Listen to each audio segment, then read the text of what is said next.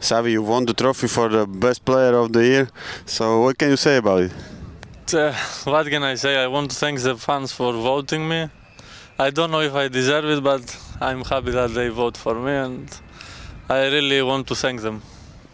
You won twice the trophy for the best scorer, for best goal. Uh, last year you told me that uh, you want to win some trophy. So you won the Slovak Cup, also the trophy for the best player, but you still missed the one of the most valuable trophy.